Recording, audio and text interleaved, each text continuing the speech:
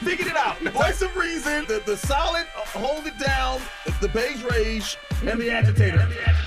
The Breakfast Club. Everyone just kept telling me to prep for this. One word would- to describe the Breakfast Club would be black. Impacting the culture. people watch the Breakfast Club for like news and really be tuned in, man. I don't even know what call calls Breakfast Club. It's like brunch. Envy, Yee, and Charlamagne. Wake that ass up, get out of bed, and listen to the Breakfast Club. I'm waking up. Day.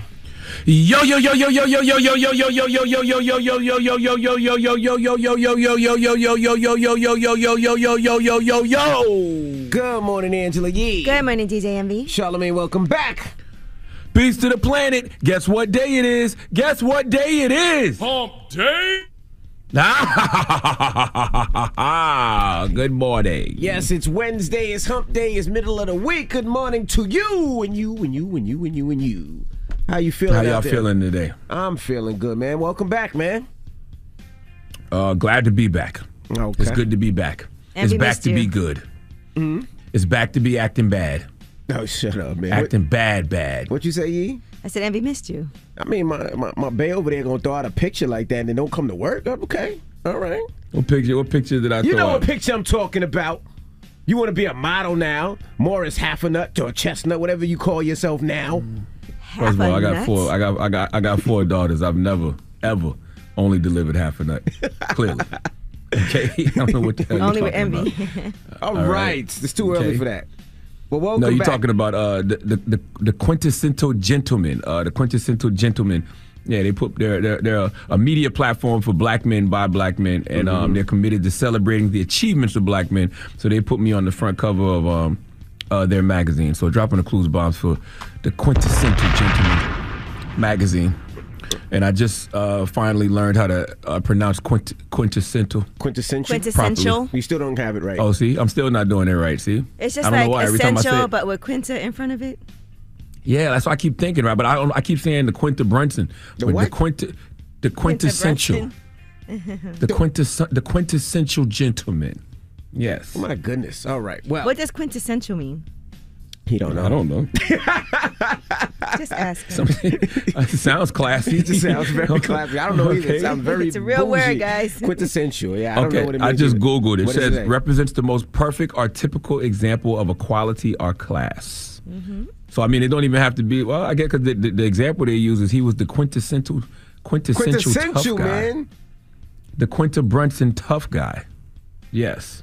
I don't know. So it's a classy word. You just happy to be I on the cover. God damn it. Oh, perfectly perfectly typical or representative is a better way, I guess. okay. To say it. We'll take that. Yes. We'll take that. Well, welcome back. Today on the show, we have uh, attorney Benjamin Crump. He'll be joining us this morning. Big band. Yes, he has a new uh, documentary that hit in uh, Netflix. Netflix this Sunday. It's called Civil. Oh, it comes out on Sunday. Okay. It comes out on Sunday. Yep. And also we have uh, Nadia. What's Nadia's last name? Hallgren. Hall Green will be joining us, and Tez will be back. So we'll be kicking it to them. Tezlyn uh, Figaro. That's now, right. Nadia Hallgren did Becoming for Michelle Obama, that documentary, but she also directed my girl Aida Rodriguez's Fighting Words special for HBO Max. That's right. So I met her in Puerto Rico her- while they were filming that. Does her does that her doc drop on uh, Sunday too? It's Ben Crump's doc. Oh, Ben Crump's doc. Yeah, okay. Ben she did. Crump, yeah, she did Ben Ben Crump's Crump. doc. Sunday is Black Gay Father's Day because What? it's um What? it's Black Gay Father's Day because it's Juneteenth, right? Okay. Juneteenth is Sunday. Yes. Uh, and it's Pride Month and it's Father's Day. So you combine all three, it's Black Gay Father's Day. So salute to all the Black gay fathers out there. So what do we do? I have no idea, What? but You're s- celebrating salute 'em. that? You just gonna make, Just- just make just up a holiday, and then when, when you don't. I'm not making up a holiday. I'm just letting them know they have a day. It's it, it, you're combining all three. It's Blackness, which is Juneteenth. Mm-hmm. It's Pride Month, which is the gay, and then it's Father's Day. It's So also Black Gay Caribbean Father's Day. Heritage Month. See, Black Gay Caribbean Father's Day. I'm not messing with y'all this morning, You man. know what I'm saying? I'm not messing See? with y'all this morning. All right, well, let's get the show cracking. Front Somebody news. out there represents all four of those categories. You I abs- can guarantee you that. You're absolutely right. But let's get into front page news. What we talking about? All right, well, we'll be talking about hair this morning, and uh, we'll be talking about alopecia and uh, special treatment the FDA has approved. Also, uh, on the opposite side of things, toxic chemical in hair products that has increased breast cancer is something that you need to be aware of. All right, we'll get into that next. It's the Breakfast Club. Get your ass up. Good morning. Morning, everybody. It's DJ Envy, Angela Yee, Charlamagne tha God. We are the Breakfast Club. Good morning. Let's get in some front page news. All right, now Thursday, everybody's been asking when the next game is. Of course, the Warriors lead three to two. The next game is this Thursday at 9 p.m. in Boston. Warriors in six. Warriors in six. You think they're gonna take it I think, I think the, I think the Warriors close it out in Boston um, on Thursday night. I, you know, initially I said uh, Warriors in five before the series, but then I said uh, Warriors in six before the series. I think that they close it out in Boston on uh, Thursday night. I don't think that the championship caliber team that the Warriors are. I don't think they're gonna play in the Garden. Nah, Okay, I think it's gonna be silly, like video game, video game ish. I think Warriors in seven. I, I, I think with, with Boston, with that crowd, with the fan support and all that, I think they're gonna win. But we'll see. Nah, I think the I think the Warriors then took their heart the last two games. Think so? I think Steph goes for like fifty in the Garden. Clay goes for like thirty. Okay, 'Cause Tatum ain't Andrew Wiggins. Tatum Huh? ain't really pop off yet, so I think Tatum's gonna go crazy. He has to go crazy. He one doing what he can. All right. He doing what he can. What else? All right, now there's a new study that says hair and beauty products marketed to black women contain a class of toxic chemicals that is not only linked to an increased breast cancer risk, but also uh, fuels the spread of cancer cells in black women in comparison to white women, also. So the study uh, analyzed that parabens, and they determined that parabens increase the growth of breast cancer cells in black women and it's a group of chemicals. They use parabens in these products to keep mold and bacteria from growing. And so it prolongs the shelf life. But in humans, parabens can mimic estrogen, which is a hormone that leads to dangerous cell growth. They said black women are likely to buy and use hair products with these types of chemicals, but we don't have a lot of data showing how parabens may increase breast cancer risk in black women. And part of that is also because black women don't get picked to take part in most research studies looking at the link, and studies to test this link have only used breast cancer cell lines from white women. So uh, they have this new study, which was conducted by the Bench to Community Initiative that brings together scientists, community activists, breast cancer survivors, and hairstylists to study that link. And black women in general are also more affected by breast cancer. They're 41% more likely to die from breast cancer, and those under 50 are twice as likely to die from breast cancer than white women. So that's why when we talk Man. about beauty products and we're like no parabens, no sulfates, it's really important to make sure you read those ingredients in the products that you're using. All right. And the FDA has approved a full body treatment for alopecia. And that's an autoimmune disorder that can cause hair loss and baldness occurring in patches on the body for the first time. And that's what Jada Pinkett Smith has, alopecia. She's uh, spoken about it. And they have approved approved oral tablets called Oleum, um, I want to pronounce this right, Olumiant. Olumiant. It's a treatment for adults with severe alopecia. Now, they had previously approved treatments for the disorder that addresses specific parts of the body, but this is the first FDA approved alopecia treatment that treats the entire body. And more than 300,000 people in the U.S. every year are affected by alopecia. And individuals with the disorder, the body attacks its own hair follicles, which causes the hair to fall out. The Ol- Olumiant treatment is designed to prevent that response. I thought everybody had like a little form of alopecia. Like you know, I I, I could be wrong, but that's not true. No, everybody. I Doesn't think I don't think all ha- yeah I don't think all hair loss is alopecia. Mm. But but I, I, let me ask a question: Who gets the Medal of Honor for raising awareness to alopecia? Is it Chris it. Rock, Oh, you Will it. Smith, or Jada Pinkett Smith? You're not going to tell me that the incident at the Oscars didn't raise awareness for alopecia. I haven't even heard the word alopecia said this much since that incident. I guarantee if you do some type of Google research, it'll show that uh, alopecia was searched more after that incident at the. Oscars than before. Of course. So who gets the who gets the Medal of Honor? Who gets the, is it a is it a group effort between Chris Rock, Will Yes. Smith, and Jada Pinkett Smith, or is it just Chris because he did the GI, GI Jane joke, or is it just Jada because she suffers from alopecia, or is it because Will, you know, administered the slap that you know got everybody talking? All Which the- is it? All of the above. I think it's a I think it's a collective effort. They should collectively get a Medal of Honor for raising awareness for Shut up, alopecia. man. All right. I'm serious. Well, that is front page news. Get it off your chest. 800 585 1051 if you need to vent. Phone lines are wide open again. 800 585 1051. Get it off your chest. It's the Breakfast Club. Good morning. The Breakfast Club. Wake up, wake up. This is your time to get it off your chest. Whether you're mad or blessed, we want to hear from you on The Breakfast Club. Hello, who's this? Yo, this Dominique from Duval. Dominique from Duval. Duval. What's up, brother? Good morning, good morning, good morning. Y'all want to get off my chest, give a shout out to my wife, man. She be busting her ass all week long cooking, man. Oh, y'all follow her on Instagram at the DA underscore Pretty Brown underscore Chef. Okay. All right. Why, brother. why she busting her ass cooking this week? For, what is she getting? She getting ready for Black Gay Father's Day? You stupid. Uh, yeah, she get ready for that too, but she knows she's a uh, personal chef, private chef. Okay. most correct. Congrats to her, Uh, man. appreciate it, appreciate it. Y'all have a good morning. All right, brother. Hello, who's this? Hey, good morning. Um, this is Clay calling from North Carolina. Clay, good morning. Get it off your chest. Yes, I would really like to thank y'all. Uh, well, first of all, I'd like to say good morning, DJ Envy. Good morning, uh, Charlamagne tha God, and good morning, Miss uh, Yee. Good morning. Good morning, sir. Peace, peace, my guy. How are you? I'm doing great, blessed and highly favored. but There you um, go. I would, but I would like to say thank you to you guys because you guys don't really know the impact of um, what you guys say and um, on the way people listen to you. Because I just recently bought a house um, here, and um, every morning I used to listen to you guys. And when um, DJ Envy used to talk um, about buying a house, I used to listen. I used to tell everybody in the car, "Shut up, shut up, shut up! I need to hear this and everything." And I never took one of your classes, but I used to listen. And one thing that you used to say about that credit, you got to get that credit right, you know. And um, I recently bought a house back in October, and um, I'm so happy. I'm so happy. Well, congratulations, brother. Congratulations, That's brother. what we try to do, man. We try to encourage things that we learn outside in this world. We try to, you know, make sure that we teach our people and, and try to explain to our people. We don't know all the answers all the time, but we just try to point people in the right direction, brother. but you guys really got it um impact and Miss Yee, um, you know, a lot of a lot of these young girls are really listening to y'all, you know what I'm saying? You. So um just keep doing this y'all and I me personally, I thank you. Thank All right, you. brother. We appreciate you. Love, brother. Now, shout to um, you know, July 31st, Caesar and I are doing a, a seminar in New York, the Jacob Javits Center, where we're gonna be talking about real estate and breaking down, you know, how to get into it, starting from credit repair. And we're actually gonna do something special. We got a, a, a bunch of brothers coming through. I know the brothers from EYL will be stopping through, and we got credit repair, and, and we're gonna be talking about hard money loans and, and conventional lenders.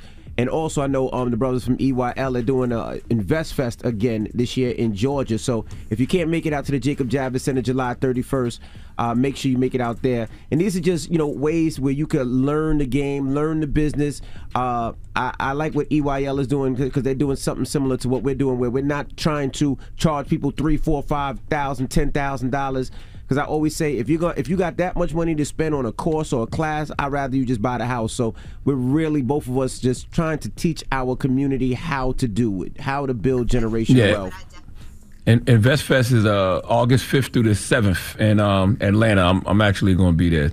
Okay. Be there as well. So salute to salute to EYL. So definitely get your tickets, Jacob Javits Center, July 31st, uh, and uh, or you can, like I said, Invest Fest in Atlanta. Get it off your chest, 800-585-1051. If you need to vent, hit us up, and, and you can hit me in, in uh, my um my link in my bio because I'm gonna be at Invest Fest as well. So either or, you can check You it a out. sneaky link? What? What? Me and you. That's how it sounded. You can hit me. You can hit me. I got my link in my bio. You gonna be with me? So what do you mean sneaky link? You little sneaky link. Yo, shut up, man. It's the Breakfast Club. Good morning. Get it off your chest. The Breakfast Club. This is your time to get it off your chest, whether you're mad or blessed. So you better have the same energy. We want to hear from you on The Breakfast Club. Hello, who's this? Hi, this is Misha. Hey, Misha. Good morning. Hi, y'all. Hey. Okay, I want I want to say why I'm blessed. Um, I lost my mom in February, So but sorry. before she passed, thank you. Before she passed, she was helping me develop my business. Um, and I recently launched my website. I'm starting off small to gain capital. Um, basically, I want to create a clothing line that caters to the alternative black community and pop culture community. Um, and I have a lot of things in the works right now. The company is Big Bad Waifu, W A I F U dot com. Um, and Charlamagne, I would love to send you some stuff because I do have, I'm trying to get um, permissions from like, you know, Marvel and everything to sell stuff, officially licensed merchandise or whatever. And I would also like to shout out another business. I came across her stuff while I was getting my stuff in order. And she looks pretty dope too. She's tapping into a market that I'm not, and she is the official bad waifu.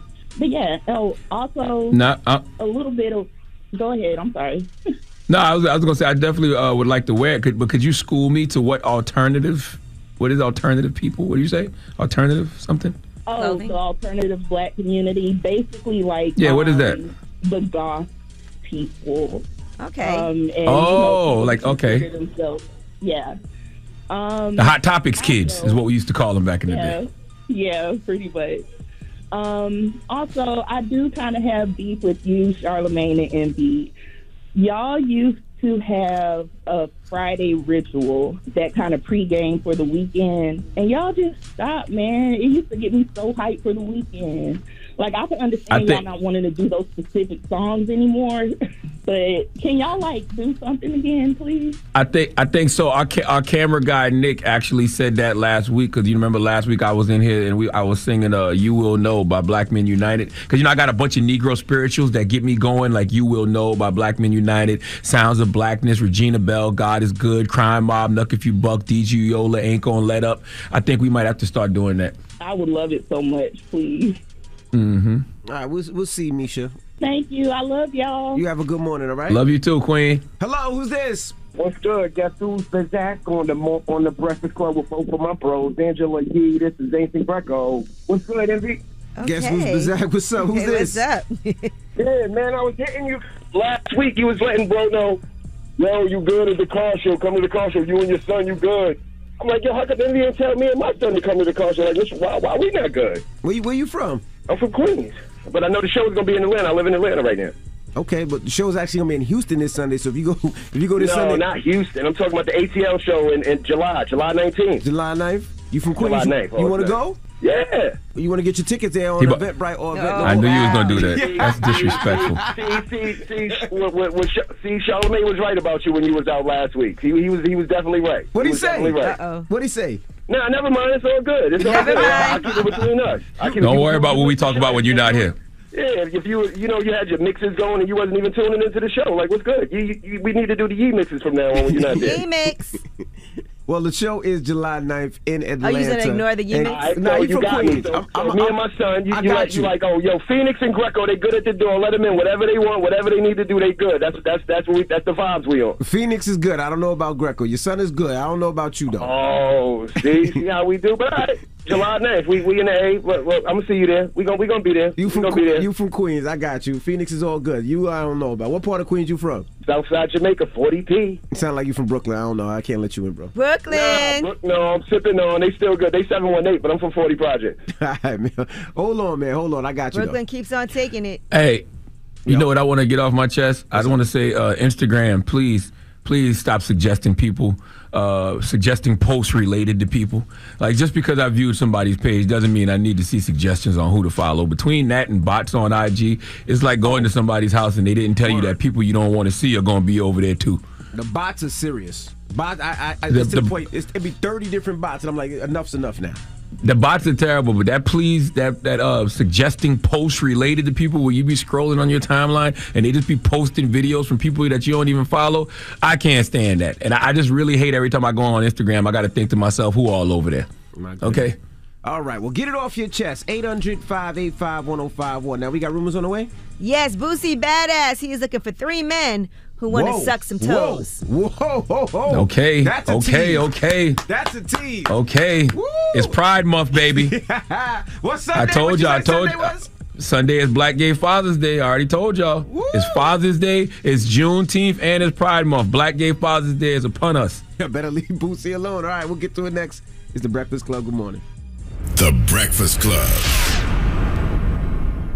Morning, everybody. It's DJ Envy Angela Yee, Charlamagne tha God. We are the Breakfast Club. Let's get to the rumors. Let's talk boost some ass. It's time, time, time. She's spilling the tea. This is the Rumor Report with Angela Yee on the Breakfast Club. Well, Boosie is looking for three men who went to suck some toes, and they will get paid for this. This is all for a pool party that he's hosting, and they want to make sure that the women get treated really well. These girls been talking about they want they toes sucked at the party, and you know I gotta get it for them. So uh, I need three. I need three who gonna suck some toes. The girls gonna, you know, we gonna you gonna get money. The girls gonna pay you. Uh, but I need some toe suckers. Wow. I respect that. That's why you get you a contract. You get you a contract to make sure everything is uh consensual, and you know you hire people like that dude that calls up here all the time, Big Chocolate the Oh, Toe Big Sucker. Chocolate It's your time to shine. Now, not for nothing. Call I'm your su- call your people, Yee. I'm sure there's some people out there that that'll take that job right now, depending on what the pay is. 'Cause I what don't know if we wage want is- anybody just sucking our toes. He said any man. So I, I mean, minimum wage is fifteen dollars right now. So if if he could beat that, and you go out there and suck some toes. You, And there's some Yeah, guys but- that have that listen to real what- fetish to do things like that, and you could get paid for it because normally they'll pay you, right? Normally guys would be But- like, "I'll pay you if you let me suck your toes." And But you yeah, you're about right though. You, you said you said she don't want just anybody sucking her toes. Like, shouldn't the women be the ones uh, being able to choose? Maybe Boosie should get like a bunch of different guys and then let the women choose which guys she wants Do uh, like to a- suck suck her toes. like a bachelor or bachelorette, like a flavor of love type of thing. Mm-hmm. yeah, but it'd be flavor of feet. Mmm. I see where you're going with this. I see where you're I, going I with know, this. I know, Envy. You want to get in on it because you always post your toes on Instagram. No, no, I don't. No, I have a wife. I'm married. But yeah, stop posting my toes on Instagram. Enough's enough. But you're the one that posted. That's what's crazy. All right, now um, let's talk about Mellody Hobson. So if you wasn't married, you'd let a man suck your toes, is what you're saying? No, I did not. I did not say that at all. What's wrong with you? Oh, okay. You That's how kinky he this morning. interpreted it. You kinky this morning, bro. All right, now Mellody Hobson. Are y'all familiar with that name? She's a chairman who's at that? J.P. Morgan, and, and she's also a chairman at Starbucks, and she has a portfolio of smart investments. And she also will be on the uh, ownership of the soon-to-be Broncos ownership team. Oh yeah. She's a black woman. Oh, okay. Yep. Yes, and so there have been other black women who have held limited equity stakes in NFL teams like Serena and Venus Williams, but those were acquired after a new ownership group takeover. This would be the first time ever that a black woman is publicly identified as part of an original ownership group purchasing an NFL team. Uh, Russell Wilson said that he actually had a chance to speak to the new ownership. He said to be able to talk to her, what a tremendous accomplishment and what a gift to be able to do what she's going to be able to do, to be the first black woman, right, to be able to do this. It's a big deal. This is history, and I think that maybe has gone over people's heads a little bit. I love it. Yeah, and she's married to uh, George the- the- Lucas. the- George Lucas. Mhm. Yeah. Yeah, and she's uh, she has a great portfolio. She has her own um, company, Ariel Investments, and so she's been doing it. I think she also did like the whole DreamWorks um, deal. She did that whole deal for them and everything. So she's a Yeah, she used to be a chairwoman for DreamWorks, and then uh, I, I think once they got acquired by, by I think it was NBC or somebody, she and she stepped led that acquisition. So, all Yep. right. Now, Amber Heard has done her first sit down interview with Savannah Guthrie, and she's talking about the defamation case that was brought forth by Johnny Depp. And she says that she still stands by everything that she says. Uh, here's what she had to say about the jury's decision. I don't blame them. I actually understand he's a beloved character and people feel they know him. He's a fantastic actor. Their job is to not be dazzled by that. Their job is to look at the facts and the evidence. And they did not believe your testimony or your evidence. I, again, how, how could they, after listening to three and a half weeks of testimony about how I was a non credible person, All right, now it was a six week trial, and they went through a lot of the uh, darkest moments of their relationship. He was trying to absolve himself of allegations that Amber Heard made in a 2018 Washington Post op ed. She described herself as a public figure representing domestic abuse. She never named Johnny Depp, but they said that the claims everybody knew that that's who she was talking about. He's denied all allegations of abuse, and so he sued her for fifty million dollars, saying the accusation hit, uh, hurt his career. She countersued him for hundred million dollars, saying that his former lawyer defamed her when he called her claims of abuse a hoax. At the end of it, ultimately, he was awarded fifteen million dollars that got uh, lowered to ten point four million, and she was awarded two million. When the jury found that her his lawyer did defame her on one count. All right, here's what she had to say about feeling devastated by this whole thing. Vast majority of this trial was played out on social media, and the jury is not immune to that. You think the jury saw it? How could they not? I think even the most well intentioned juror, it would have been impossible to avoid this. Every single day, I passed three, four, sometimes six blocks, city blocks lined with people holding signs saying, Burn the witch. After three and a half weeks, I took the stand and saw just a courtroom packed full of Captain Jack Sparrow fans who were vocal. This was the most humiliating and horrible thing I've ever been through. I have never felt more removed from my own humanity. I felt less than human. All right, and But that's going to be a phenomenon that's studied for years to come, like mm-hmm. social media and its impact on things like trials. Because she's right, it's impossible for jurors not to see what people are saying on social media and be influenced by that. But you know, they did have audio recordings of her saying things that contradicted what she was saying on the stand. And Oh, so absolutely. People did not believe her. And so some of those clips or transcripts, she says some of them are not re- representative of the two hours or three hours that those clips are excerpted from. That's what her uh, rationale is for that. But she did say that she does have some things that she regrets. All right? Mhm. Well, that is your rumor report. I'm Angela Yee. All right, we got front page news next. What we talking about? Yes, and let's talk about Donald Trump. You know, he has issued his own statement in response to these January 6 hearings. All right, we'll get into that next. It's the Breakfast Club. Good morning. The Breakfast Club. Your mornings will never be the same. Angela Yee here. The General Insurance is a quality insurance company that's been saving people money for nearly 60 years. Switch to the General and you could save over $500. Call 800 General or visit thegeneral.com. The General Auto Insurance Services Inc., an insurance agency, Nashville, Tennessee. Some restrictions apply. Morning, everybody. It's DJ Envy, Angela Yee, Charlamagne tha God. We are the Breakfast Club. Let's get some front page news. This Thursday, all right. What is it? Game six, NBA Finals. That's right. Warriors versus the Celtics at uh, Boston. So that happens at nine o'clock. Y'all know I got Thursday. Warriors in six. I got I got Warriors in Warriors six. Steph, Steph Curry uh, was 0 for 9 last game from three point land. He's going to score 50 in the Garden on Thursday. Clay going to score 30. Wiggins going to give you another 20, and it's going to be all she wrote. All right. What else you got, Easy? That's All 100 right. points from three players. Well, the House Select Committee, the January 6th committee, has postponed the uh, hearing that's supposed to happen today. And the next hearing is now scheduled for tomorrow afternoon at 1 p.m. Eastern. They said it's just for technical issues. It's not a big deal. It's nothing else.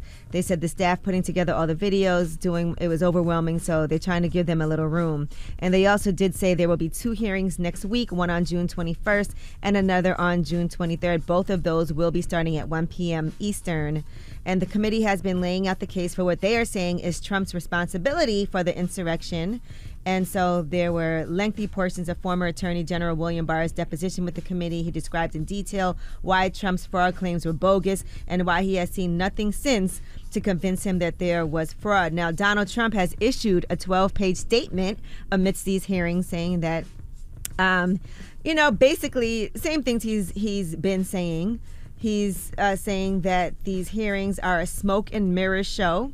He also said that there's no witnesses or anybody who can easily point out the flaws in their story. He said America is crumbling and Democrats have no solutions. Our nation has no hope of change for the better under Democratic leadership. People are desperate rather than solving problems. Democrats are rehashing history in hopes of changing the narrative. Now, the members of this committee includes two Republicans have pushed back at the characterization that their investi- investigation is motivated by partisanship. Instead, they said their work uncovered the extent to which the former president worked to undercut the democratic process and also to remain in power.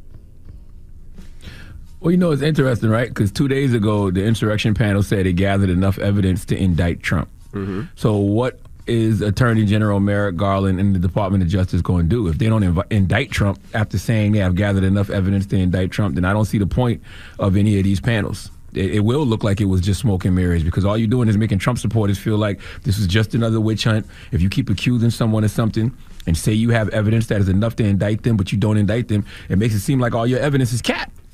Yeah, I mean, I think uh, because again, these hearings they don't have the power to do anything, you know, out of these hearings. It can then the Department of Justice has to take over, and they have to figure out what to do. It's Mer- been a, a long investigation, and so now what, right? We need to make sure And that there's some been action. saying. Now what?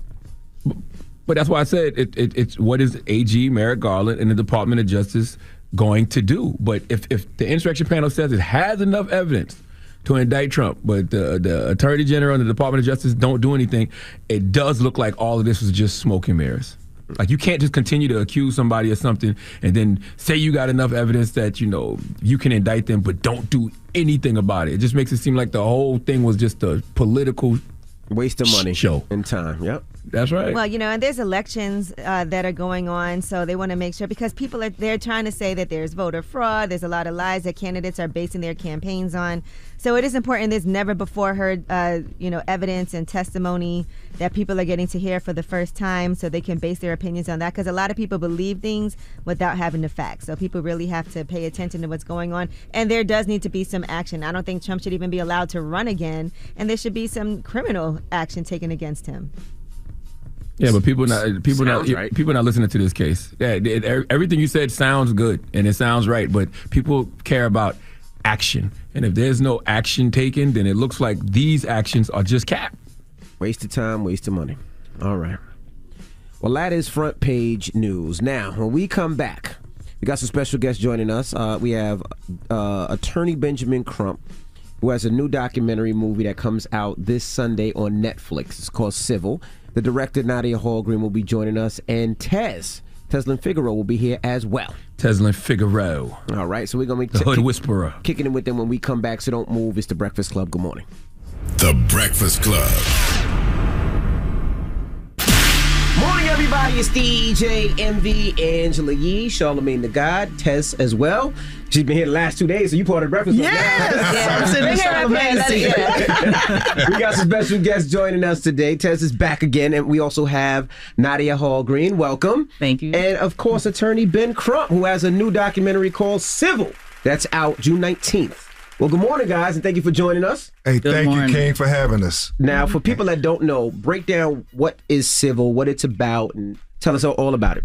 Certainly, Angela Yee, I am always in awe of you, so I say that publicly. Oh, thank you. I appreciate that. Civil is a Netflix documentary coming out on Juneteenth. Uh, it was directed by the young, brilliant director Nadia Hallgren. Uh, this uh, African, Puerto Rican, mm-hmm. all kind of flavors in there. Mm-hmm. Give it up for Nadia. Yeah. Thank you, thank you. She did Becoming also. Yeah. Good, And yes, she did ma'am. Aida's Fighting Words, Aida. Rodriguez. Yes, thank you so much. I mean, she is it. Her vision is so incredible. I mean, it followed me for 18 months during a pandemic where we had not heard of George Floyd hmm. when they started filming.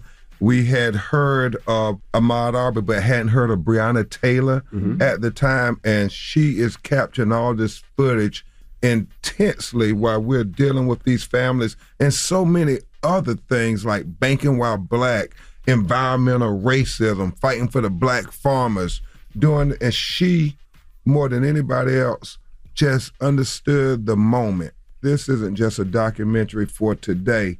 This is a documentary, as Kenya Barris and I, who's the producer, uh, created Black, is saying, this is a documentary for our children yet unborn. I'm so glad you're here because there was a call that we got. I don't know if you were here, Envy, last week, but somebody called in. They were talking about Larry Nassar and how there's this lawsuit against the FBI because of Larry Nassar and how they knew about the cases against him, but they didn't act on it. And somebody called in and they were like, "Well, this is disgusting. What does, what is money going to do? Why do victims need money if they're truly victims? And this is just a money grab." So I know this is something that you, as a civil rights attorney, can speak to. So I would love for you to talk about that. When people try to say, "Oh, they're just trying to get some money," or "He's just Yeah. chasing money and trying to fatten his wallet." I try not to listen to the haters much because I understand my mission. My queen Tez, she say, "No, you got to go back out on Crump." I'm like, I, I don't have the time because I'm so focused on the mission. The mission is trying to say to people psychologically and consciously to American society that no, no, we matter. We deserve equal justice. When you have a wrong against us, we have a right not only based on the Seventh Amendment of the United States Constitution, but just based on common sense. We have a right to send the message that you can't do this to us and get away with it. I, I'm representing a lot of black and brown people in Los Angeles County at MacLaren Hall, which was a children's shelter in Los Angeles for 50 years. Mm-hmm. Black and brown children were being raped and sexually molested, and the county just looked the other way. It's been all these years, and now California, because of things that were happening in Boy Scouts and Catholic, the Catholic Church said, "We're going to give you three years.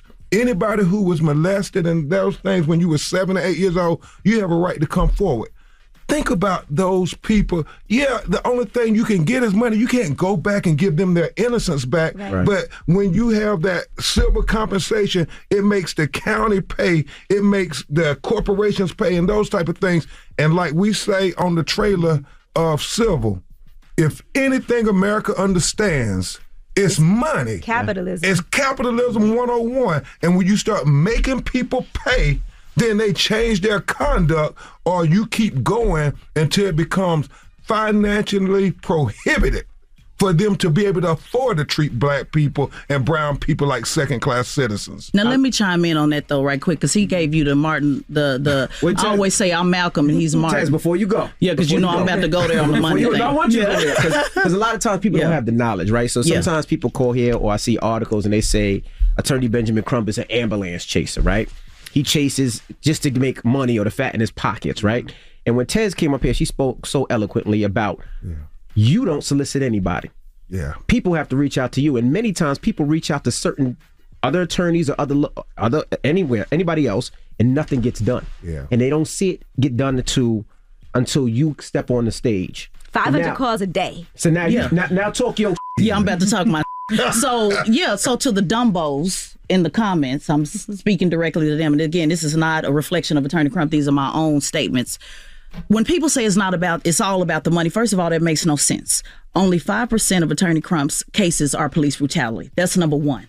Nobody talks about the $100 million lawsuits that he's been able to get for folks who are alive and well, the $600 million lawsuits he's been getting alive and well. America or any government has never paid uh, for the value of black life. And so I find it amazing that the same people in the comments that will sue McDonald's for a slip and fall feel that it is not, it makes no sense if someone takes your life and you feel that that family should not deserve compensation for their children that's been left behind. What are they supposed to do? Exchange Roman noodles like in the pen? The only thing we have is the money compensation. But to ignore the fact that Attorney Crump pushes for the criminal uh, punishment, to ignore the fact that policy actually comes out of these cases, when you talk about the Breonna Taylor law, when you talk about the Andrew uh, Andre Hill law, when you talk about 100 cities that have now enacted police reform since the murder of George Floyd, it has been because Attorney Crump and, and a few others, and I'm saying a few just to be generous, have brought these cases to light. There are billions of dollars every year that are settled based on police brutality.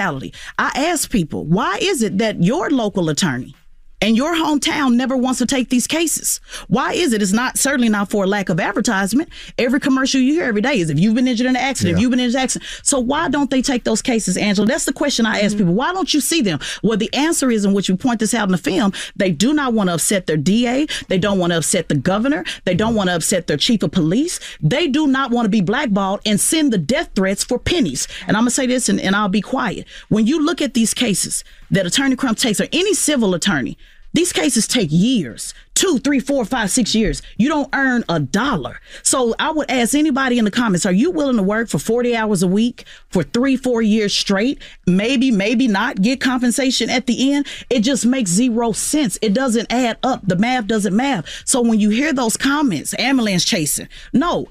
Everybody say that to us, their loved one in the ambulance. I'll use one story, my Bird, a case I worked on in 2015. The stepfather, Monroe Bird, said, Do not, I don't want Ben Crump, because the family called me first because their son was being dragged all through the media. They called me first and said, I don't want Ben Crump. I don't want none of that coming down because he's an ultra conservative. Mm-hmm. Tulsa, Oklahoma, ultra conservative. Black man, but a conservative. But once his his his son got started getting dragged in the media, then it was, Can you call Attorney Crump? Because nobody was willing to stand and change the narrative. The narrative that is changed in the media affects the jury. It affects how they make those decisions. And so now, seven years later, later, they're passing the Monroe Bird Law. And that's the stuff that people don't keep up with. All right, well, don't move. We got more when we come back. It's the Breakfast Club. Good morning. Morning, everybody. It's DJ Envy, Angela Yee, Charlamagne tha God. We are the Breakfast Club. We're still kicking it with attorney Benjamin Crump, Tezlyn Figaro, and Nadia Hallgren. Does that discourage you at all? Like, no matter what, you out there to do good, right? Yeah. And then, so when you got people and people that look like you that you're fighting for, and they go at you, does that discourage you at all? Envy, I try to be a student of history. Thurgood Marshall is my personal hero. Martin and Malcolm, these are the people I emulate. People don't understand that they were hated mostly by black people. Mm. You know, we have this revisionist history now that everybody loved them. But when they were at their peak, they were the most hated people in America by both white and black people. And so I always try to remember that and say, God, I know what mission you put on my shoulders, and I'm going to use these blessings, these influences to try to affect a better world for our children. And I'm never discouraged by anything. As we said in the film, don't be a spectator. If you feel you mm-hmm. can do something, get in the arena. The easiest thing in the world to do is to sit home and be a critic and don't do anything else. The hero is the person who puts themselves out there, risk their reputation, their family safety, and even their life, and say, This is about more than just me. We have these banking while black cases mm-hmm. where we have recovered millions, hundreds of millions of dollars for black people. Mm-hmm. Over 200 million to be exact. Let's put the number out there so they can know in the comments. And, and it's it's so astonishing to me, Envy and Angie, that people would say, "Oh, it's just about the money." What do you think banks and corporations are doing things for? Are they doing it just for uh, charity? Are they doing it just because they had nothing better to do? No, they're doing it for the money. And so when we take on Wells Fargo, who we're currently fighting now because they were denying black people mortgages during a pandemic where the government had gave an opportunity. And uh, I digress. I gotta say this, y'all. Absolutely. During the pandemic, because they were worried about the economy, the government gave historic incentives to uh, decrease the interest rate for home loans lower than they had been in 75 years. Y'all understand for poor people, middle class people, the quickest way to uh, gain wealth and equity is to be able to purchase a home and pass something on to your children and their children. That's how you get wealth accumulated. Well, even with all of this, Wells Fargo was denying black people white people were getting incredible incentives to increase their wealth by saying you got a 2% interest rate. You might save a million to two million dollars just because you were able to refinance. They said no to black people. And so now I can worry about the Negroes in the comments, so I can go say, no, Wells Fargo, you probably stopped black people from getting a billion dollars in equity. So guess what Ben Crump gonna do? Mm-hmm. I don't care what you say. I'm going to get those black people that billion dollars. Well, Nadia, let's let's talk to you because this is a spicy room. If you haven't seen Yeah, this, I see it. It's You know, I'm a filmmaker in the corner as always. So so let's talk about you know you directing this and what made you want to do this film. like most of us, I was sitting home during that time when everything was happening in America, the pandemic, George Floyd's murdered. And I'm like, I'm a filmmaker. I need to be out there doing something. And then I get a call from Kenya Barris, and he's like, I've been working on something with Ben Crump. We want to make a documentary. Do you want to get involved? So grabbed the camera and just got on the road with Ben. And I just knew that this was a moment to document history and what was happening in America. And you also show Ben Crump's family, his mom. Um, now, why was that important in framing this story? One thing I thought was so special when I met Attorney Crump was just who he is as a person, as an individual, his his values, you know, at the highest standard, and where that came from. Was that hard for you to expose that part of your life? Because that's not something you ever do. it is very hard to expose your personal life. Uh, I will say this: my mom was here at the Tribeca uh, Film Festival premiere, and we we grew up in the projects. My mother raised me and my two brothers and her baby brother, working two jobs. I mean, doing everything for us, and uh, it was so beautiful for my mother to see what she did. I mm-hmm. mean, mm-hmm. a standing ovation, and then out in Times Square, they got Netflix really has invested in this uh, movie, and they have a billboard 80 foot off the ground on 42nd and Broadway. And for my mama to say, we started in the projects and now we're here. I mean, it's just a testament to a strong black woman. Absolutely. Who's saying, I won't let this world destroy my children. Mm-hmm. And so my mom and my wife, my daughter, everybody in this film, they just kept it real. They gonna kept it too real. How's your family deal with it? Because it's it's you know it's like anything else. I mean, if you could just take all the, the the negativity, it's all good, but it bleeds into your wife, it bleeds into your kids, and then you know, uh, Tez was talking uh, the other day about the death threats. Yeah. So, so how do you, how how does your family deal with it? How are they okay? it, it's hard. Obviously, as adults, we understand what we're doing. My nine-year-old daughter watched the film for the first time yesterday, and she said, "Daddy, you got a death threat," and she was very concerned about it. Nine years old, and so we had that conversation about, baby, Dad is out here fighting for you to have a better world, and sometimes people don't want to see our black children have an equal opportunity mm-hmm. at life. We have to fight for our rights. We can never take stuff for granted. Mm-hmm. And she was like, but you didn't do anything wrong. I mm. said, baby, I know that. And you will learn that some people feel that they're superior to us because the color of their skin. And that's always a difficult conversation to have with young people because they want to see the best in the world. She was asking me questions. Man, she is terrified by these school shootings. I think we all are. And for your children mm-hmm. to have to deal with that trauma, what happens, Daddy, if it happens in our school? You know, so we talk about those things. I think about how my wife, my brothers, everybody in their mind, they are prepared that it could happen and we have to protect your family when you're on the road so much. Mm-hmm. I mean, they're constantly checking on them and everything. And that's the other side that Tez was talking about. My law partners now, we don't make that much money doing police brutality.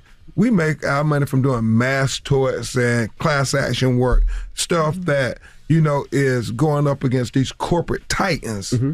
This police brutality civil rights work is something you do because you care. Nobody does civil rights work to get rich. It's the least profitable division in my law firm. I pray so much that we can close down the police brutality division of the Ben Crump Law Firm because then that would mean Trayvon would get to live because somebody didn't profile him. Ahmaud Arbery. I mean, all these young black people in the film. Naughty has a part in a 15 year old, a 18 year old, and a 19 year old in a week's time. All get killed by the police, completely unjustified. But if we could somehow have them look at our children like they look at their children, mm-hmm. then our children would get to live. And that's what I pray for, man. That's what I'm fighting. I've made enough money. I, I, I'm going to be okay. My law firm would rather I just stop doing the civil rights. They like, you did enough, Crump. We can make money a lot easier and more of it if you would just quit doing this civil rights work.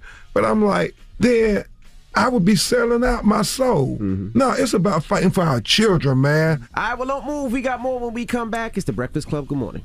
Morning, everybody. It's DJ Envy, Angela Yee, Charlamagne tha God. We are the Breakfast Club. We're still kicking it with attorney Benjamin Crump, Tezlyn Figaro, and Nadia Hallgren. So let me ask you a question. Now, Nadia is the director. What's the biggest takeaway you get out of this documentary? What I hope, Envy, is that when people watch this film, they have a much deeper, nuanced understanding of what life is like in our communities mm. than they ever had before. And that they understand the work that Attorney Crump does. You know, something we spoke about earlier, just this idea that civil law and criminal law are actually two different things. Right. Mm. And we were surprised in this film when we showed it to people and they, they didn't understand it. So just to give people a basic understanding of how the, the law works as well. So it's an educational tool. Yeah. But it's really for to bring people in and show behind the scenes of what these cases are really like other outside of the press conferences and the news cycle. Taz, you want to curse anybody out? Uh, anything else? you I don't think I wanna curse we cuss get up out of anybody out. You got to have the final word. Taz with the final word. No, I, I, I just think I'll just echo. You know, Can, can uh, I say this before sure. you say the final word? It, it is important that people understand civil law and criminal law. Yeah. Because the prosecutors, I think, intentionally sometimes lose these cases. We have never lost a police brutality case, but people sometimes can't distinguish the two. And so I think Nadia does a good job of reminding people of what we should have learned in seventh grade civics class that the government is the only people who can prosecute you and put you in jail. And then the Seventh Amendment says if you've had a wrong that you believe has been put upon you, you have a right to sue them. Mhm. And if the jury agrees with you, you are entitled to compensation. And the law has some reason for that because they don't want people trying to solve their disputes in the street by shooting and killing one another. No, no. You come to the court of law, and if a jury agrees, then the only thing we can give you is monetary damage. That's the accountability. That is the accountability. And before Tess gives her final word, I do want to say that I know you've been inspired by Thurgood Marshall and you speak on it all the time, but I feel like after seeing this, kids will be inspired by you. And that's the thing that will make the next generation want to become active, become attorneys, become civil rights attorneys, and make sure that they do what's right. Absolutely. We appreciate you. Thank you. Taz, you want to close us out? Yeah. Taz? I'll close us It's out. on you, Tez. I drank a sip of the positivity water, so I will leave on a positive note. Envy, stop encouraging me to be cuss folks out. I will say this, and I talked about this in uh, my last Breakfast Club interview on my Push the Line training that's coming up, Politics Until Something Happens. I want to give a quick shout out to Text 66 866 push the line to 66866 what is that about it is about getting in the fight what people should get from this documentary at the end is ben crump says get into the arena. I know who i am and i know whose i am. And what does that really mean? You got three ways to get involved. Now you can just be in the comments or you can get involved on the criminal side to push for that folks get arrested to push to end qualified immunity like what happened in new york city by the way like what happened in colorado by the way. You can talk about uh, making sure folks get arrested. You can talk about the protest side. You can talk about the punitive damages side which is what attorney crump does or you can talk about the policy which is what i talk about which is one over 100 cities have passed some level of police reform that nobody talks about. Yeah. we still have to push on the federal level for the george floyd justice policing act but over 100 cities have made some difference. The bottom line is you have every opportunity to be involved. My logo push the line it has each person pushing one pushing the p the u the s and the h. Nobody's paying attention to what's going on beside them. There's a child on the side that is watching with their fist up watching what it is that we're doing. So you can push or you can talk in the Bible, whether you are believing, I'm only talking to the believers. Mm. It says that at the end, you know, we talk about who's the GOAT, who's the GOAT, who's the GOAT, who's the greatest of all time. We love throwing that around in hip hop. But in the end, there is going to become a time where the GOAT will be separated from the sheep. What is the sheep? People say the sheep is who follows and who does what man does. But in the word of God, it says that the sheep is about the shepherd's business. Mm. So you are either going to be about for the least of these, or you going to be one of the GOAT that are not here to serve those who have been in prison, to serve those who have been disenfranchised, to serve those who have been marginalized. And when it's time to make that accountability, and if if, if I'm wrong, then I don't have nothing to worry about. If I just disappear into existence, fine. But what if I'm right, DJ Envy? Hmm. If I'm right, there's going to be the question, what did you do? And the answer won't be, well, I was in the DM. I told Ben he should do this. I told hmm. Tessa she should. What did you do for the least of these? You've been challenged right now to do something. One of those three, four things. Don't worry about what Ben doing. Yeah. Get in the arena and get your squab on. It's plenty of people that's talking from the stands. We talked about that Friday. Everybody at the game. But guess what? We don't all play the same position. Mm. I've never once seen LeBron James turn around to the stand and say, What y'all think I should do? Should I go this or this? Attorney Crump got to focus on playing the game. Mm-hmm. And then you got people like me that's on the sideline, on the bench, cheering them on. Let's go, let's go, let's go. I was a cheerleader all through school. My job was to say, let's go, but to also challenge at the same time, say, Attorney Crump, I don't really like that. I'm not feeling that. But I'm on the court in the game. Yeah. So if you just in the stands talking, you just in the stands talking. Let's start walking and let's be about our business. There you go. Civil is out this Sunday, Father's Day, June 19th, Juneteenth.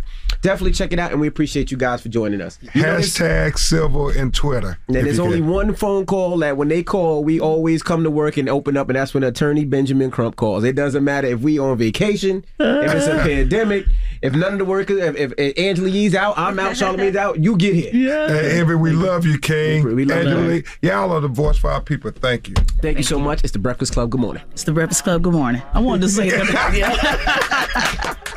morning, everybody. What? Get it, Carol. Good morning, What? everybody. It's DJ Envy Angela Yee, Charlamagne tha God. We are the Breakfast Club. Let's get to the rumors. Let's talk. You know what I want to learn how to do, man? No. Oh. I'll tell you later. You kinky.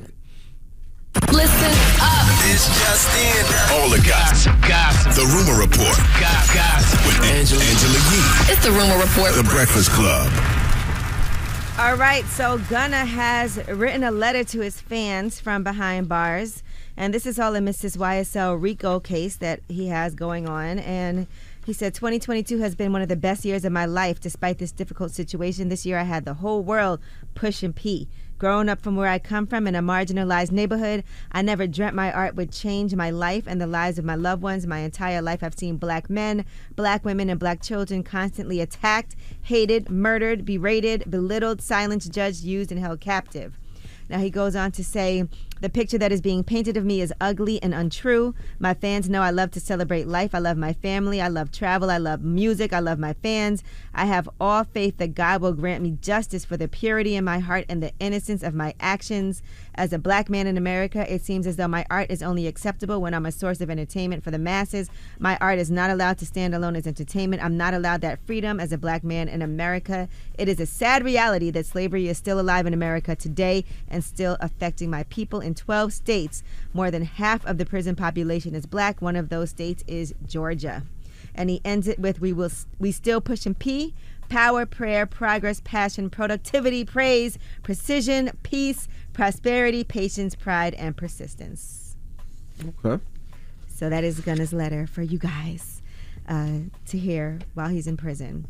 All right, the final episode of the Wendy Williams show will air this Friday. It is an end of an era, 13 seasons. And Wendy Williams will unfortunately not be present for the final show. A spokesperson said the final original episode of the Wendy Williams show will air on Friday, June 17th, with a video tribute to the iconic host. The series comes to an end after 13 successful years in syndication. I would love to see Wendy say goodbye So is it- to her Yeah, is it even the Wendy Williams show though? Has it? When's the last time it's actually been the Wendy Williams show? Does she still get Like I've never seen anything like this. Well, other people are hosting, I wonder. Like, for, for years, I, I believe, right? A couple, two years, a year and a half, something like that. But you know, but shout to the staff when uh, Gia and I was uh, doing a tour for the book. We stopped through there, and they was so nice, so pleasant, so. Uh, and there was it was a couple people that actually used to work here. So shout to the whole Wendy Williams staff, man. I appreciate you guys. You guys showed us so much love when we stopped through there. Yeah, I don't even know if I don't know if she gets paid. Gee, that's a great question. I mean, but they've been using her, you know, her likeness and her name, and I'm sure that name still brings uh brings in ratings. So I would assume she still gets some type of check. I wonder if they tried to get her on the final episode. Mm. All right. Well, Squid Game, the challenge reality series, is coming to Netflix. So that's going to see contestants competing in games inspired by the show. And the winner is going to get $4.56 million. So it's going to be a total of 456 contestants, and that's the grand prize. Netflix is saying that is the largest cash prize in the history of reality TV. What they got to do though? Listen, red light, green light. Nah, they ain't gonna hurt nobody. But I'm curious to what they got to do. You Ah. crazy. You think they wouldn't hurt somebody right now? All of this uh, inflation is sky high. You know what I'm saying? People still trying to pay off uh, PPP loans. What, what all kind do? of other stuff. Like, what could they possibly do? Like, they're not gonna hurt anybody. Nobody's gonna get hurt. It's, it's got to be safe. You Is know? people uh, uh, envy? Is people getting is people getting hurt out here for money now? What are you talking about? So you can so you're illegally allowing somebody to hurt someone to get to get paid? I don't know if that's what they're going to do, but I'm just assuming because it's Squid Game. Would you Still. compete? Would you compete? You're gonna compete, but nobody's gonna get hurt. Well, anybody who does want to compete, that uh, website is squidgamecasting.com. Smart though. You know, they've Already I mean, already it's gonna have to be some extreme two. stuff. Mhm. Yeah, it is. It's, going to have to. It's going to have to be because you've already had like Fear Factor and shows like that. So if you do it based off what we saw from Squid Games, the TV show, the actual game is going to have to be that extreme. hmm All right, Meg The Stallion is going to be on P Valley. She'll be on there as Tina Snow, though, just a FYI. So uh, that's huge. And by the way, P Valley is doing amazing this season. It's their second season. They're up to episode two so far. It was like a 1,018% increase in viewership from last year, which they say is the largest increase ever at Starz for a uh, series. So congratulations to everybody over at P Valley. Amazing, amazing show. You know, I love it. All right, now, um, ASAP Rocky is talking about. He was in Interview magazine. It was him and Jerrod Carmichael. You know, he, they interviewed. What they do is they put together two celebrities to do these discussions all the time. And one thing ASAP Rocky said is rap is in its adolescence and it's, it's been stuck here since Soulja Boy. Before everybody looked 35 and up, when Lil Wayne and Jay Z and T.I. and Jeezy and Ross was on, rappers looked old. Like we had Little Bow Wow and that was it. That all changed with the internet and self releasing. Now rap is stuck in this braggadocious adolescent space. It's not as mature. And so people believe that Soulja Boy was responding on Instagram Live to this interview. Whether or not he really was, I don't know, but that's what people believe. And here's what he said on live. Come on, man. No, stop listening to people, bro. Just don't know what the f- they talking about on gang. That's what I found out, bro. Be on my Instagram, be on Twitter, be in person, talking, talking, talking, talking, talking about nothing, bro. What is you talking about, bro? What is you talking about? We talking about everything but how to get some money. Every mother. Come on, man. All right, so not sure, I, but I have to read the article because Mm-hmm. I don't understand the context. Is he saying Yeah, I was folks used to look younger? Are they are they carried themselves more mature? What is he, I don't get what he, what is I he think saying? he's saying rap is uh, is like a braggadocious, younger type of space now, where before it used to be a lot more mature. You know, and they looked more I mature with that. and No, they're all rappers doing braggadocious stuff, but there's other rappers doing a bunch of other stuff as well, right? hmm It's not just everybody Yeah, just but- bragging about but certain what about things. Or maybe ASAP's too young to remember like Kris Kross and uh, a, a legal and um, another bad creation. Like they like I I don't. I always thought hip hop was trended younger. yeah, I think he might be too young for that. Yeah, that that was a little That was before that. far back. Yeah, All right, well that is your Um, rumor hey. report. you have to go after that. I was born in I I was born in 1978, sir. Okay, that's that's the beauty of uh, being 43 years old. You've you've seen a lot. You got a bird's eye view of things. Yeah, but you had to go after that, after Chris. He's talking about when he was coming up, Creation. yeah. when he was coming up, which would have been what? 10 years later. Jay Z was rocking. T.I. was young at the time. No, Ti. Who else was rocking during? But that that's what I'm saying. Like T.I. was young. Like all of those guys were in their early 20s. Like I mean, it was uh, so- maybe he's talking about the content was more mature. I don't. I don't know. I, I don't know. There was so many. All right. Well, anyway, Charlamagne, who are you giving that down to? Uh, four after the hour, we need a doctor named Susan L. Jarose uh, in the Texas Children's Hospital in Houston, Texas, to come to the front of the congregation. We'd like to have a word with them, please. All right, we'll get to that next. It's the Breakfast Club. Good morning. The Breakfast Club. Your mornings will never be the same. Leaving a child in a hot vehicle can lead to their death very quickly. If you see a child left unattended, call 911. If the child looks unresponsive, do what it takes to get him or her out safely. Paid for by NHTSA. Don't be out here acting like a donkey. Hee haw, bitch. Hee. It's time for Donkey of the Day. I'm a big boy. I can take it. If he feel I deserve it, ain't no big deal. I know Charlamagne tha God gonna have some funny shit out his mouth. If you gotta say something you may not agree with, doesn't mean I'm mean. Who's getting that donkey? That donkey. That don't, don't, don't, don't, don't. Donkey of the day right there. The, the Breakfast Club, bitches. You can call me the donkey of the day, but like, I mean no harm. Donkey of the day for Wednesday, June 15th goes to Dr. Susan L. Jarose and the Texas Children's Hospital in Houston, Texas. Salute to everyone who listens to us on 93.7 The Beat in Houston, Texas. What's happening? Drop on the clues bombs for 93.7 The Beat. Ashley, what's happening? Uh, I truly feel like there is certain places mistakes shouldn't happen. Yes, I understand mistakes are a part of life. We are all going to make them, but certain professions you have to measure not once but twice to ensure that you only have to cut once. In certain instances, you should measure twice and then bring in some fresh eyes and let them measure twice to make sure that the cut you are making is absolutely the right one. Now, who are these people who cannot afford to get things wrong? Well, police officers, Okay, once you mistake someone's cell phone for a gun and kill an unhar- un- unharmed human, unarmed human, uh, there's no coming back from that. Uh, doctors, surgeons, imagine going in for a BBL and you end up getting a kidney transplant. That wouldn't be nice, would it? And Chick fil A workers, uh, just to name a few. Just to name a few professions in our community that simply can't afford to make a mistake. The stakes are too damn high.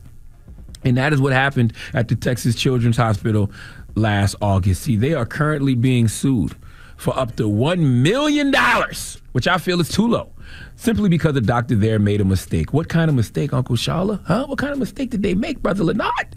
Well, let's go to KPRC2 News for the report, please. Just try to imagine how you would feel if your four year old son went in for laparoscopic surgery to solve a hernia problem in the genital area and instead wound up getting what amounts to a partial vasectomy. That is what this lawsuit alleges happened to a four year old Fort Bend County boy at Texas Children's Hospital last August. The boy's family now suing the doctor and TCH for up to $1 million.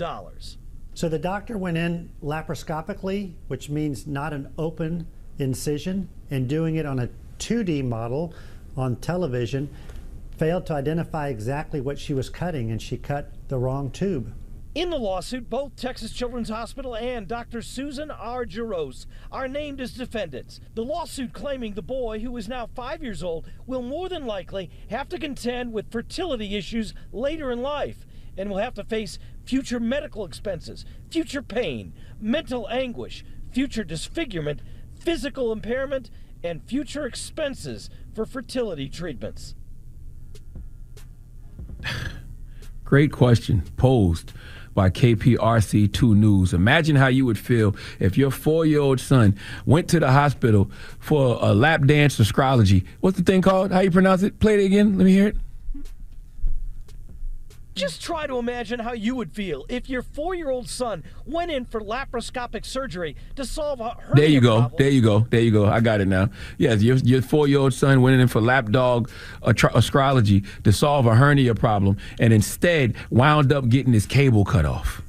That little boy, that child who was probably barely in kindergarten, wound up getting what amounts to a partial vasectomy. Now, look, I tell y'all often, I'm not the highest grade of weed in the dispensary, nor am I the strongest Avenger. But if I'm a doctor, common sense should tell me that I highly doubt this little child is here for a vasectomy. Usually, four year olds are the reason that parents consider vasectomies.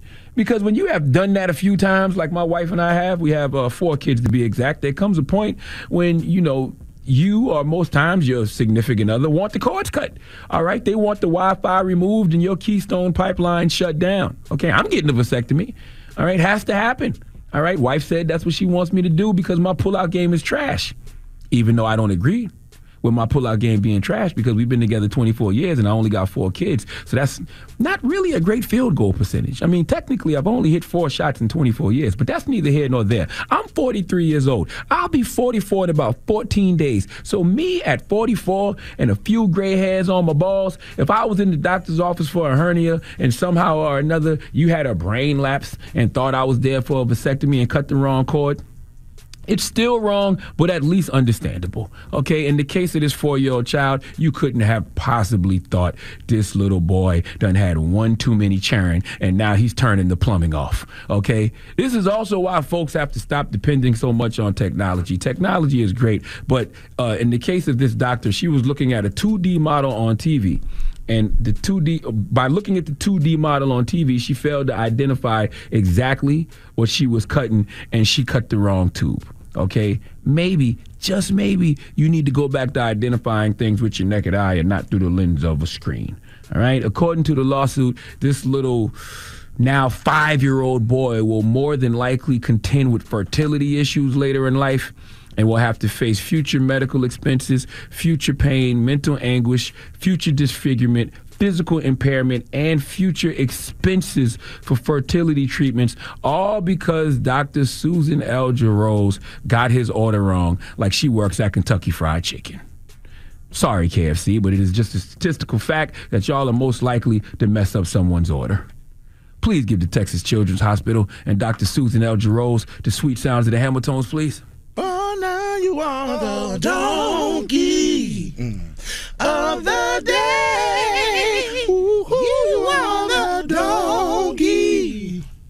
of the day.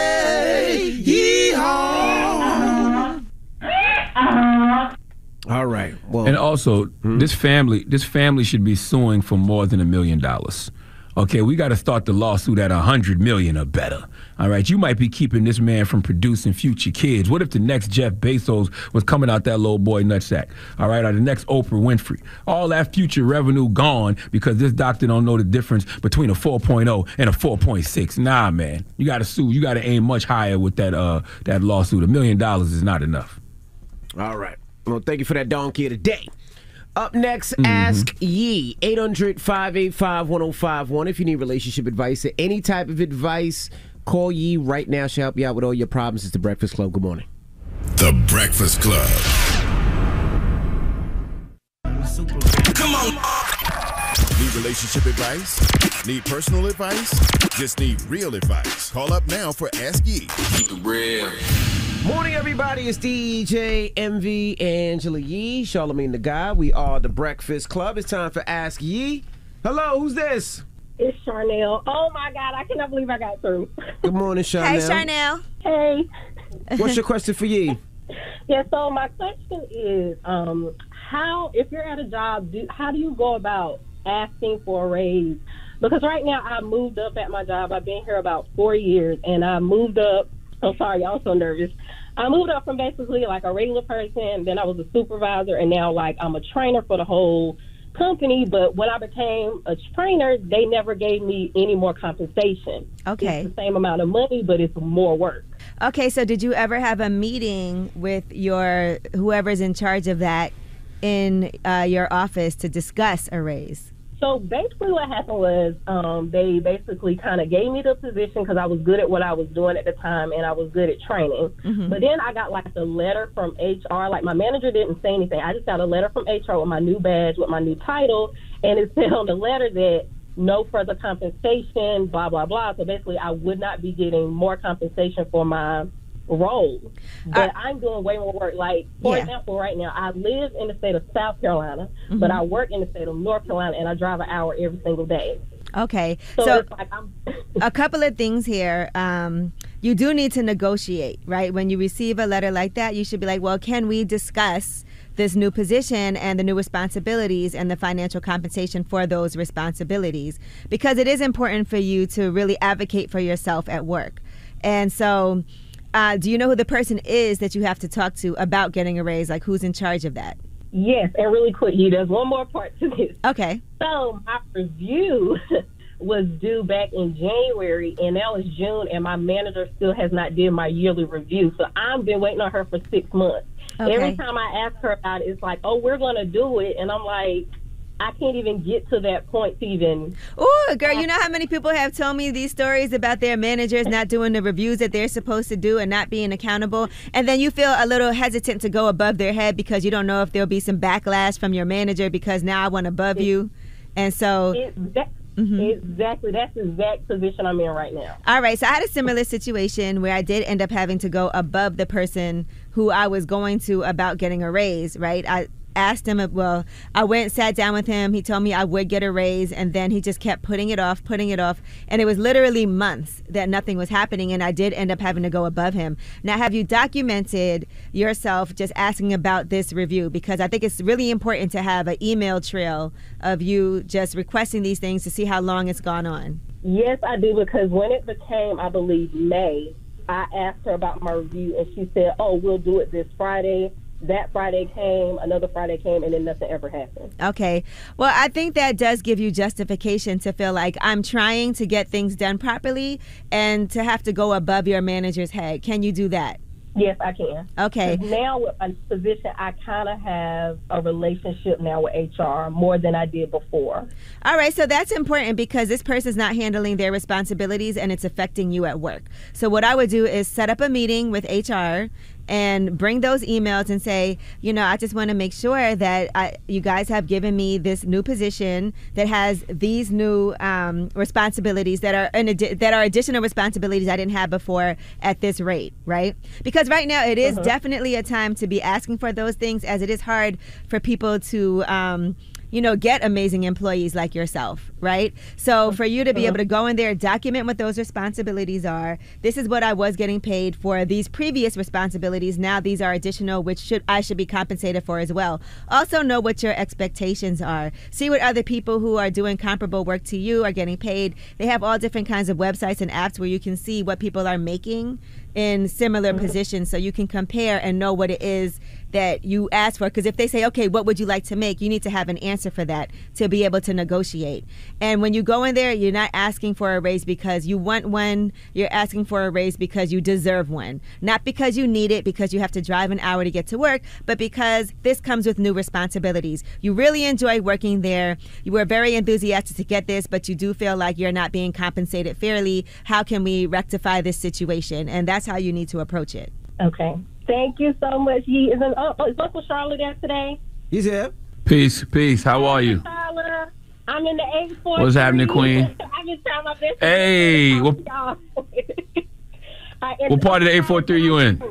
I am in Bennettsville, South Carolina, which is near Dillon. Bennettsville. What's happening? Okay.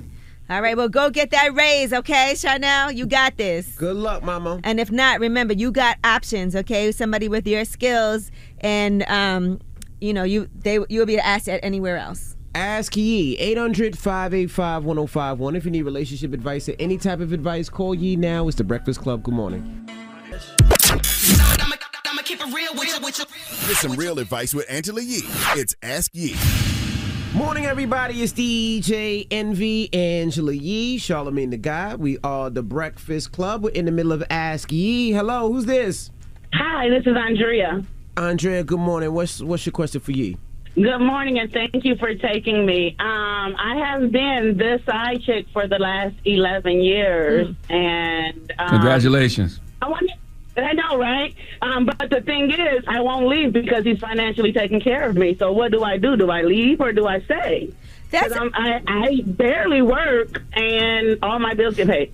Do you want to have your own relationship with somebody that you can be with, or are you content with your situation? Um, it goes both ways. I'm pretty content with it. When he talked about leaving and me and him being together, I kind of freaked out. So at any point, he could potentially leave you, right? It might be time for you to figure out how to live without an allowance. Facts. I mean, you got to think about the future. He could leave you today. And then you'll be stuck. Don't you want to be a, a person that can hold it down and then make decisions based on who you really want to be with, not based on your financial needs? And that's the thing. Every time I try to leave, something in life happens, and he ended up coming through and kind of saving me. And that's so unfortunate. Like, I wanted to leave, my mom died, and he paid for a lot of stuff in that. And then I wanted to leave again, I lost my job. He started to pay my rent. So I, I, I don't know. Girl, you better get up off your feet because I'm to tell you this, right? First of all, what you're doing as the side piece at any moment, that's a, a risky situation. You don't know. His wife never found out about you? No, she knows about Oh, me. she knows. Um, it's funny when you guys were talking about have you ever been reached out to as the side has the tricycle ever reached out to you? I never reached out to her, but years ago she tried to friend me on Facebook, but I didn't know the name, so I wouldn't accept the friend. hmm Okay, but y'all never spoke. no. Okay, because she could tell him you got to leave it. She could show up at your doorstep. She found your Facebook, right? Yeah, Are these and that's the thing. I'm a firearms instructor. I told him, do I have to worry about this person who I've never seen in my life coming, running up on me since she's been on my social media? She knows what I look like. I have no clue on who she is. And she clearly knows your name as well, which means she could easily find out where you work, where you live, and all of mm. those things. Do you want to live your Yeah. life looking over your shoulder, being somebody's side piece, being reliant on this person so that you could pay your bills? Because it seems like what you're doing right now is just what's comfortable for you. And you need to get Yeah. out of that. One day, don't you want to have your own man? Uh, I, I like living life freely. Okay. I've never wanted to be married, never wanted any kids, and I'm over 40 now. I'm not saying that you want to be married and have kids, but don't you want to not be with somebody else's dude? Yeah, yeah. You know, I get like wanting to make decisions about being married, having kids. That's amazing. But what I'm saying is, do you want to be the person that is a side piece? Uh, because you're clear, you clearly know you're doing the wrong thing, and you're taking this man's money. He's taking advantage of a situation because he knows you're dependent on him. It never feels good to be dependent on somebody. Yeah. Definitely. So, so get your life together because at any moment this could end for you. And I would hate to see you in a situation where you're getting evicted or you don't know where your next meal is coming from because this man done left you. Thank you. All right. All right. Thank you very much. Have a great day, you guys. You too. She sounds really happy though. Ask Yee, 800 585 1051. If you need relationship advice or any type of advice, you can call Yee now. Now we got rumors on the way. Yes, let's talk about the freshmen, right? The double XL freshman list has been released and we'll tell you who made it. All right, we'll get into that next. It's The Breakfast Club. Good morning. The Breakfast Club. Morning, everybody. It's DJ Envy Angela Yee, Charlamagne tha God. We are The Breakfast Club. Let's get to the rumors. Let's talk the double XL freshman cover. This is the Rumor Report with Angela Yee. On The Breakfast Club. So listen up. All right, well, it's that time. The 2022 Double XL freshman class has been announced.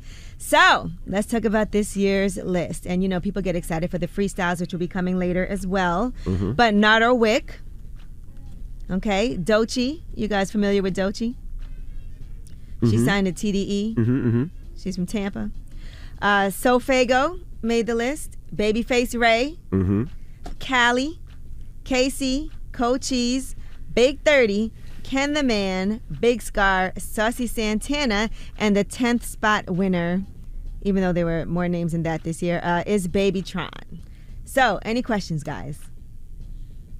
Yeah, I'm glad they still do this list, but are, are these people like really considered freshmen? Because I've been bumping Big 30, Big Scarr for a minute, Babyface Ray been out here smoking, uh, smoking for a minute. I feel like Nardo Nardo's was been out here doing yeah. his thing. I feel like Nardo's been out for about Yeah, so it just a couple years. It, it just feels like by the time, yeah, it just feels like by the time they make this cover nowadays, they already popping. I mean, they're still newer artists, though. Yeah, they're still and newer that artists, is- That's, that's Yeah, the point are. of it. You got to get to a certain point to make the freshman list. You can't be like no one's ever heard of you before. You have to be heard of, have a good buzz, and then you make the freshman list because they want to make sure that you actually have some staying power in order to be on that list because then they do a big push for you. Yeah, they're still new There's artists. Absolutely. So yeah, so I think it's an honor for people to still make it, or or they would turn it down. I just thought some of them would have been on I'm, I'm, last year's list. It just feels like they're kind of late. Nah, good, I don't but think still, so. It has still to new have- artists though. But Yeah, they're not established like a J. Cole or a Ken, but you know, it's a, a great big push for them. Like I'm sure all of them were excited to be on that list. So congratulations. For sure. But Congrats to them. It just feels like they're late. But Mm-hmm. I mean, last year's list, if you guys remember, it was Coi Leray. Pooh Shiesty was on the list last year. Uh, Lakeyah, DDG, 42 Dugg, Rubi Rose, uh, Toosii. So it's always nice to look back and see like who was on the list in previous years and see where they are now. Mm-hmm. So congratulations. I saw Kali posted out double XL my body. So happy I can share this with y'all. Thank you so much, double XL. So happy to be part of freshman class of 2022. Big 30 uh, said, appreciate the love and support to my fans. Appreciate y'all for riding with ball. And Big Scarr said, young, rich, and we're from the South, putting on, catch me on double XL. Baby Tron said, this for everybody who counted me out. This is a global takeover. And um, so congratulations Okay. to them. All right, now let's talk about uh, Grant Hill.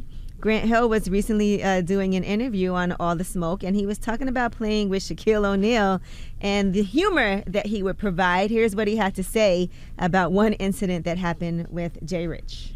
I remember one time we. This is so bad, man. This man, we're you know we're in the showers after practice, and he goes to Jay Rich. Jay Rich, you got a fat ass, man. So, I'm like, how do you come back? Like, how like what does Jay Rich do, man? Like, Oh, my like goodness. you know what I'm saying? Shaq was just funny. Shaq is funny. he funny, was too. nasty. He yeah, was crazy. Big old kid. That's Jason Richardson. He's let me talking go. Let me go Google uh, Jay Richardson. Yo, what's oh, wrong Jay, with Jay, you, Jay, man? Jay Richardson. What is wrong with you? I want to see. I want. I want to go see what made Shaq say that. For a man to tell another man that, then that means Jay Richardson got those cheeks. You said that before too. Yeah, Make y'all sure you both said that to someone who was up here one time. Now, Ro James was up here. Shout out to Ro James. Ro James was, came up here for Ro. James had them cheeks. Then Ro, Ro James was doing the drop. Ro James had them cheeks. I saw Ro James. He was like, "Can you tell them to please stop saying that about me?" Ro James had those cheeks. Charlamagne was okay. like, you know- and you first of all, Ro James, yeah, he, Ro James had let, let the record show. We objectified Ro James in his face. We didn't Yeah, talk about him behind his yeah, back. No, so okay. that was the first thing we mentioned when he when we All cracked the mic. when he sat down. Pause. All right, and now make I'm- sure you subscribe to the All the Smoke podcast on the Black Effect iHeartRadio podcast network. One of the best podcasts out there today. All right, a man who posed as Golden State Warriors uh, Klay Thompson has been banned from the team's home court. He recorded himself walking into the uh, Chase Center, and he shot around for 10 minutes before the NBA Finals game on Monday. So he goes. So nobody knew that wasn't Klay? no, he. And this was in Golden State, right? Yeah, he goes by Big Dawes TV on social media. He That's posted a photo of what he said is a letter that is banning him, and it's signed by the Warriors Vice President of Security. It says you are banned indefinitely from attending any future NBA, WNBA, G League, or 2K League games or any concert or event held at Chase Center. Any violation of you being found at any of these properties, whether ticketed or not, you will be subject to arrest for criminal trespass. Seems like the security uh, staff should be in uh, trouble. If anybody. Well, I mean, they've been knowing Fake Klay for a while, though. Like Fake Klay been around for a, a, a long time. Yeah, like, but Fake he's- Klay he's- got, got like a popping YouTube page and Yeah, he everything. does, Like, but he's shooting for he's 10 not minutes. He's shooting for 10 minutes on the court. because they're used to seeing him. Like this is they've been seeing him for like the past seven, eight years. Well, in like a series of to seeing the tweets, guy. he did complain about the ban. He said he was losing ten thousand dollars on season tickets, and that he passed through several layers of incompetent security. but then he did say in. the venue had every right to ban him. Yeah, security let him in. The security is the problem. What, what, what was that? Uh, where the lady tackled that, that woman? What, what what what stadium was that? They need that security. Now he said, "Was it worth it to lose 10k on tickets and be banned for life? Absolutely. I was an NBA player for 10 minutes, bro." Yeah, he should have been banned. Now has the have the Warriors confirmed this? Because uh, I, I haven't seen where the Warriors or the Chase Center confirmed that he was actually banned. Well, no, they have not responded to any uh, questions or any requests for comment at this point.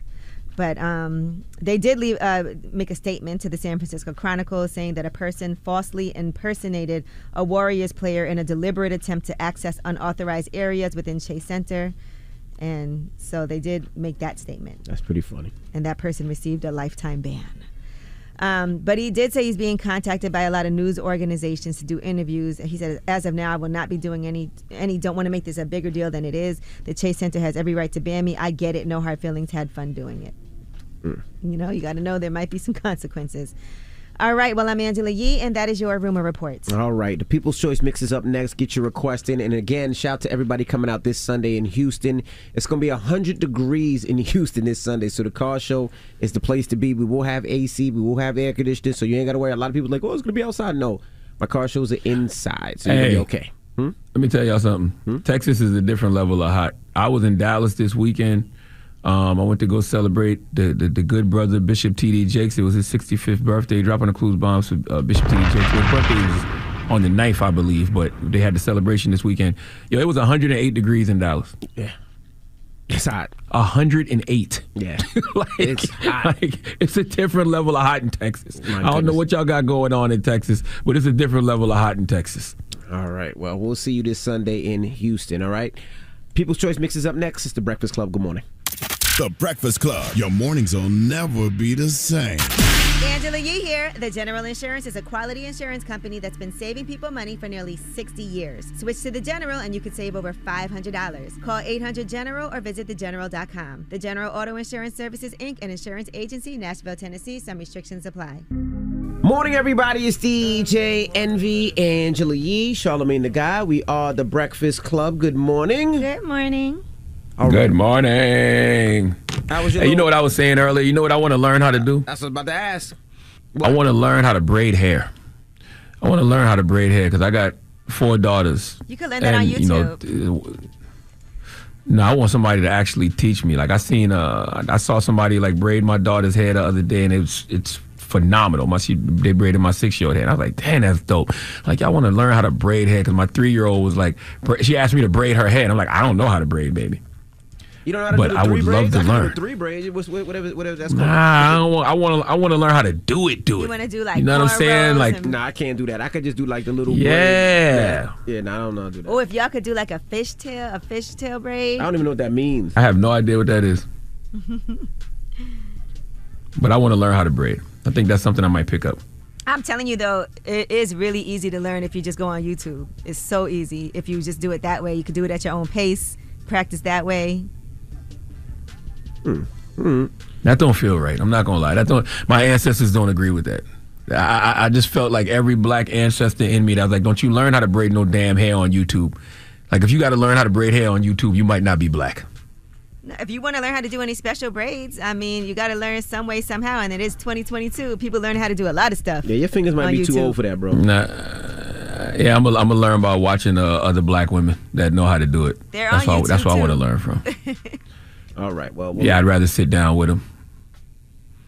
Now uh, it's time to get up out of here. Charlamagne, you got a positive note? Yes, uh, uh, two things. I want to. Um, I got the positive note coming, but I want to tell everybody uh, thank you for coming out to check out um, 88 at the Tribeca Film Festival. Um, 88 is a movie that I executive produced that stars Brandon Victor Dixon and Naturi Naughton and Orlando Jones and Amy Sloan. A bunch of great people. Uh, we've had two screenings thus far. Saturday was sold out. Uh, last night was sold out, and the next screening is June 18th at. Um, the Village East by Angelica uh, in Theater Six at two fifteen I p.m. So if you want to go check out, The Angelica. oh Angelica, okay, yes, the Village East by uh, the Angelica Theater Saturday June eighteenth, Theater Six at two fifteen p.m. If you want to go see uh, eighty eight, there's still some tickets available. So uh, salute to everybody that's been coming to check out eighty eight at the Tribeca Film Festival. We had a great screening last night. Um, yeah, and that's that. So the positive note is simply this: stop trying to drag people with you to the next level. Everyone does not want to improve like you do. Breakfast Club, bitches. Y'all finished or y'all done?